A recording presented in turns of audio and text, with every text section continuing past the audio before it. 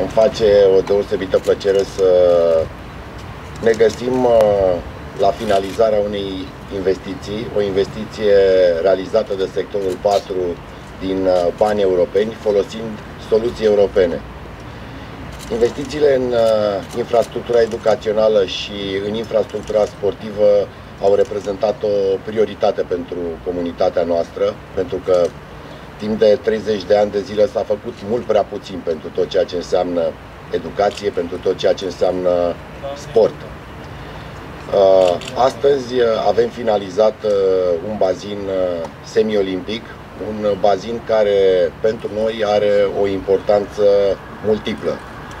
În primul rând, realizează o bază de selecție deosebită pentru viitorii campioni, copiii din sectorul 4 având acces liber și neîngrădit la această facilitate sportivă, pe de-o parte, iar pe de altă parte, împreună cu Federația Română de Natație, am semnat un uh, protocol de colaborare, astfel încât uh, în următoarea perioadă de timp să putem atinge două obiective importante. Uh, pe de-o parte, această facilitate poate să fie folosită de sportivii rotului olimpic, pentru că niciodată nu putem obține performanță fără să avem baze sportive extrem de bine utilate. Uh, iar pe de altă parte uh, recunosc că dorim să o folosim pe Camelia,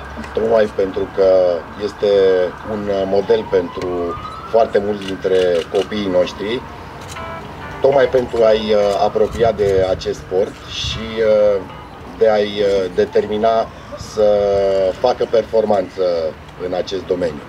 Mai mult decât atât, în această perioadă extrem de delicată, uh, această perioadă de pandemie, uh, cred că este un aport important pe care comunitatea noastră îl aduce sportului românesc în perspectiva Olimpiadei de anul viitor de la Tokyo.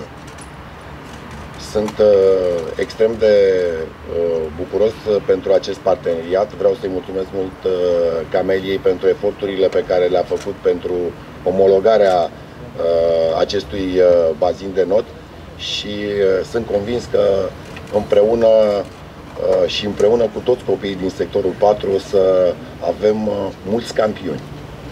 Mulțumesc mult de tot!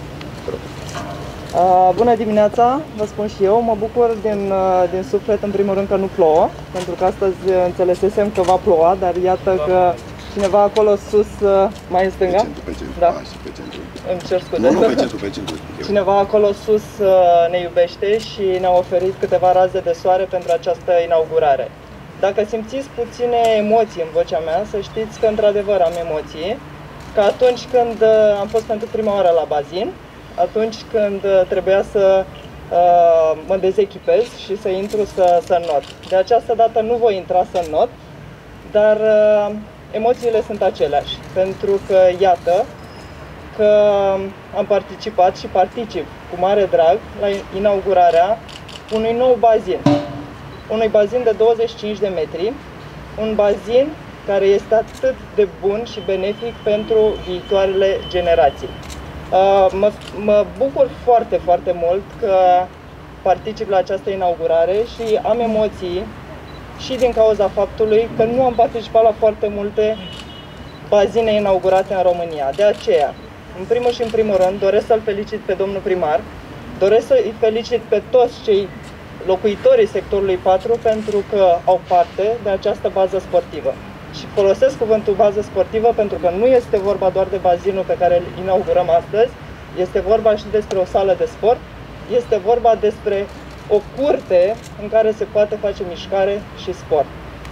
Într-adevăr, ați văzut că am aici o diplomă, un certificat de omologare a acestui bazin de 25 de metri, al doilea din România și primul de 25 de metri. De aceea dați-mi voie să-i înmânez acest certificat de omologare domnului primar și emoțiile n-au trecut, să știți. Poză, poză.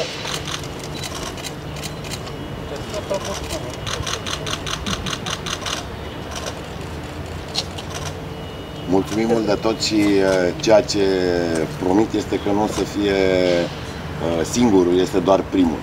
Pentru Da, că da. este firesc să facem toate eforturile pentru ca pentru a avea un acces cât mai mare către aceste facilități sportive. Bazinele reprezintă un minus uh, în România și trebuie să facem cât mai multe. Doamne ajută!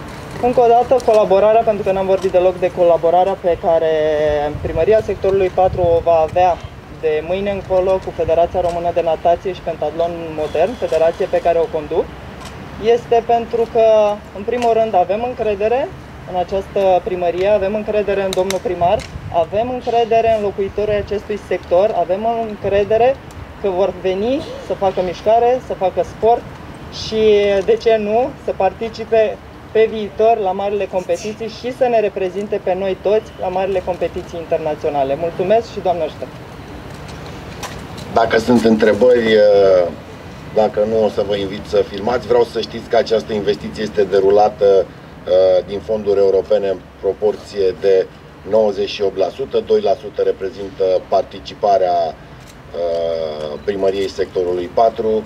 Este un proiect făcut de echipa sectorului 4 și vreau să le mulțumesc tuturor colegilor mei care s-au implicat în acest proiect. A fost o muncă intensă. Nu este singurul proiect cu bani europeni pe care îl derulăm.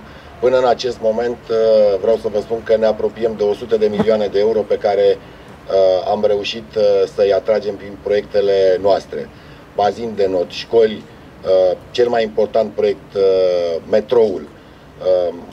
În felul acesta comunitățile se schimbă. Soluțiile europene, banii europeni sunt cele care determină comunitățile să-și schimbe fundamental și aspectul și modul de existență.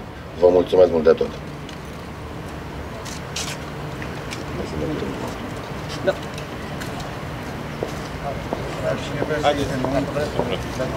Codin, uităm pe rând. Foto, ba da, da, foto mai întâi. Ok.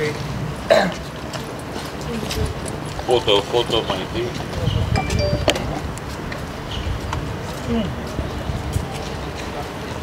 Și după aia intră și cum mai faci pe rând. Da, da, da, deci și foto deocamdată.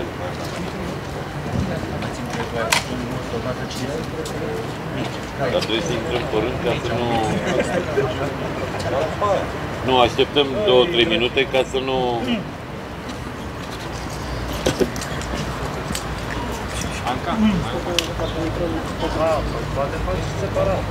Poate și separat după aia, dacă vrei.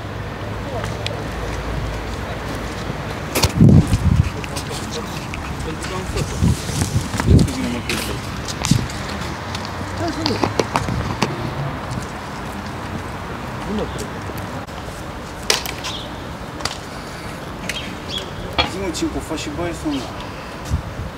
Fac duș. Baia să duce.